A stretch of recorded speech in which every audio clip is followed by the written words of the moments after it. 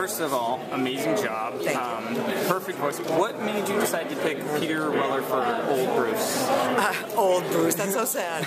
Um, I knew I needed a voice that was more mature than we had been doing in the past. It had to have more age to it. And, and it, in this piece, he's so depressed when we first meet him. He's really given up on everything.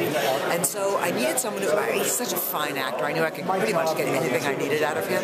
But he's got great texture to it. He's got kind of a sound of someone who's had a couple of bottles of scotch. Yeah. Very, very expensive scotch, no doubt, but he's been living in the bottom of a bottle for a couple of years. And um, I knew Peter could pull that off. And I also knew that he could pull off when Batman or Bruce Wayne finally goes, you know what, I can't stay inactive anymore. I must do something about what's happening here. And, and to make that beautiful transition into strength and, and leadership once again, because he takes over this crowd of mutants and gets them to do what he wants them to do. And I needed that strength as well, and I knew Peter could pull that off. How do you get such like an all-star cast for these animated films? Do you have connections, or it budget? Or? I do. I, I, have been working so long in this industry that I know agents well enough, and I have a good enough reputation that they're willing to give me their A-list actors, and I squeeze out as much money from the budget that I can, and certainly they can turn me down because it's not enough money, but sometimes they just can't resist the lure of being able to play Batman.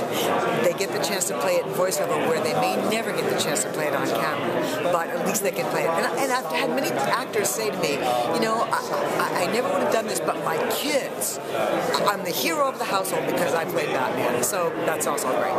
Now, this one's a lot darker than any of the other Batmans that you guys have done. Was it? I don't know. Under the Red Hood was pretty, was pretty dark. dark. That's true. This is true. I think this one's a little darker. Batarang in the eye is pretty uh, yeah, that's pretty intense. Um, doing this one with all the voice acting, is there anything different when you're doing a more serious, darker, more adult Batman than doing the lighthearted ones? Like, as far as directing them? Oh.